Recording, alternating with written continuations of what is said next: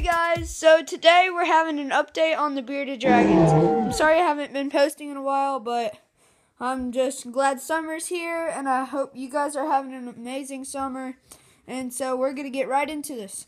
Okay, so we have, now you can see they're different sizes now, but we have Raphael. I'm pretty sure she is a girl because I learned the girls are much bigger uh, than the boys. And so we have Mikey here. Um, he's a little smaller, or a lot smaller, but they're both doing really well. Raph keeps trying to run away. Oh, come here, Raph. So, here's Raph.